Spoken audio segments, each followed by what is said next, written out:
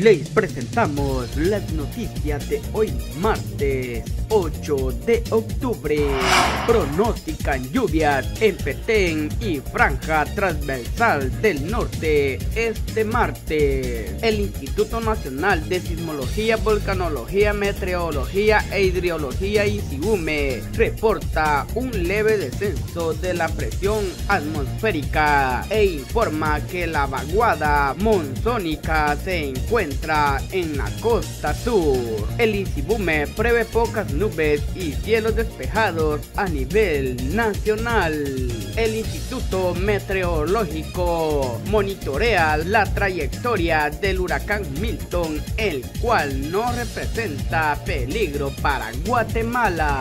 Retiran tráiler que chocó contra baranda de puente en el anillo periférico. El vocero vial de la municipalidad de Guatemala, Amílcar Montejo, da a conocer que tráiler colisionó contra baranda de un puente en el anillo periférico y 20 avenida de la zona 11 al evitar atropellar a un motorista que intentaba recoger unos zapatos.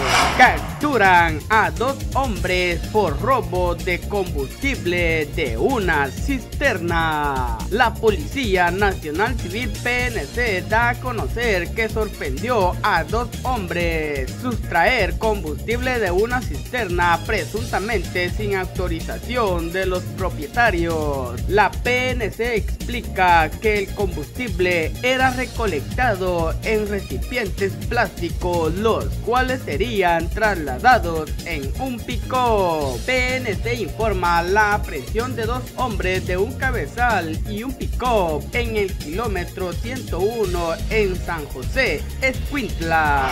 Habilitan un carril reversible en el kilómetro 61 de la ruta al Atlántico. Personal del Ministerio de Comunicaciones, Infraestructura y Vivienda. Sí, continúan labores para retirar escombros e iniciar trabajos de contención de deslizamiento de tierra en el kilómetro 61 de la carretera al Atlántico en Agua Salóbrega. Sanarate El Progreso.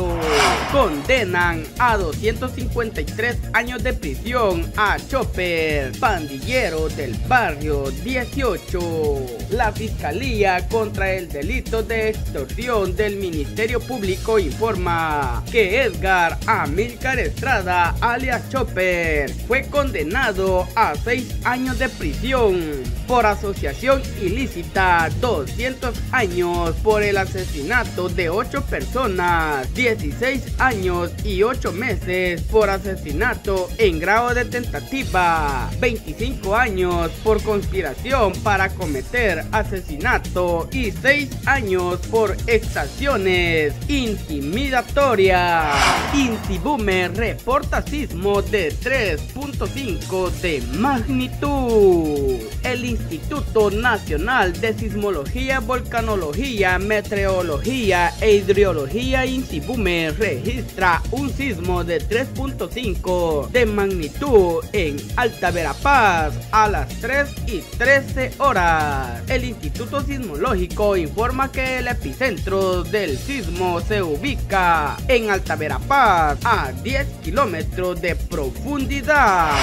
Isapalense TV presentó las noticias de hoy martes 8 de octubre. Informó Orlando Ramírez para Isabalense TV y Radio Feilo.